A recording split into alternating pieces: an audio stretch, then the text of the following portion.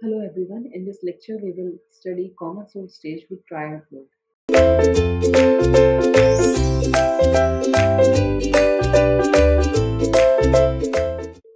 So for triode load, a MOS device operating in the deep triode region, that is the deep active region, behave as a resistor and can therefore serve as a load in a common source stage.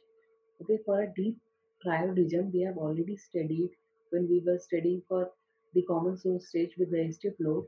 For a deep triode region, the VSD should be lesser than lesser than twice of VSG minus mod of VTH.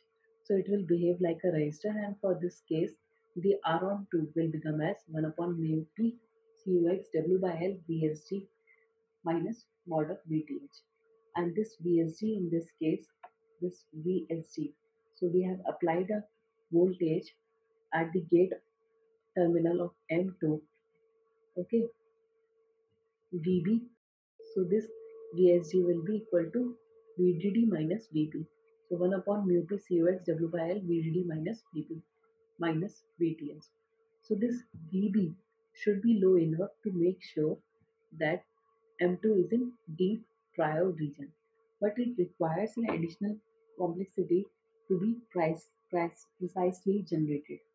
And in this case, the voltage gain will become as minus of GM1 into R onto resistance seen from the this terminal of M2 that is R12 and parallel with R01.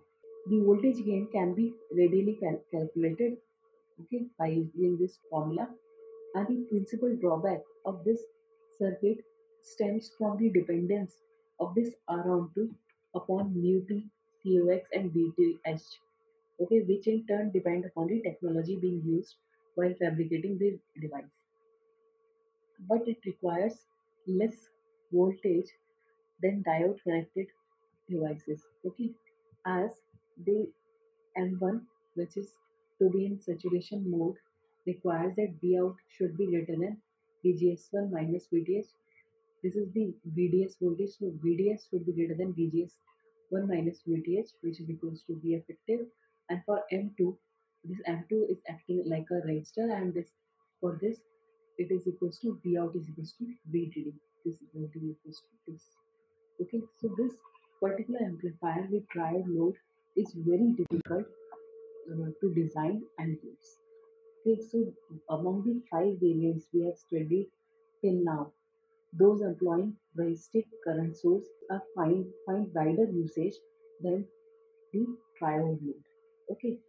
Thank you